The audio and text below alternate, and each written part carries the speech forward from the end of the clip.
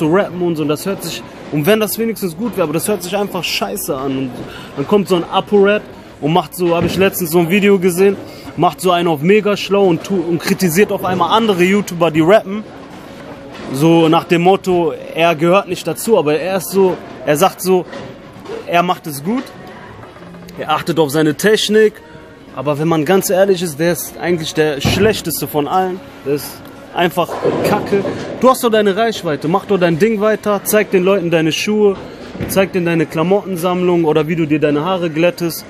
So, aber ich verstehe nicht, warum man jetzt krampfhaft so rappen muss, weißt du? Es geht denen doch nur um, hier ein bisschen mehr Geld zu verdienen.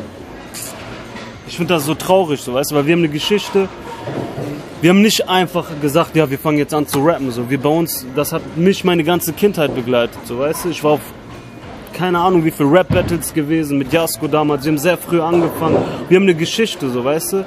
Wir haben damals erzählt, wie wir aufgewachsen sind und Duisburg, wir kommen von der Straße und so. Das sind unsere Themen gewesen. Aber die rappen über, keine Ahnung, Haare glätten und Schuhe und was weiß ich. Majo, ähm, deine letzten Alben, beiden Alben, habe hab ich auch schon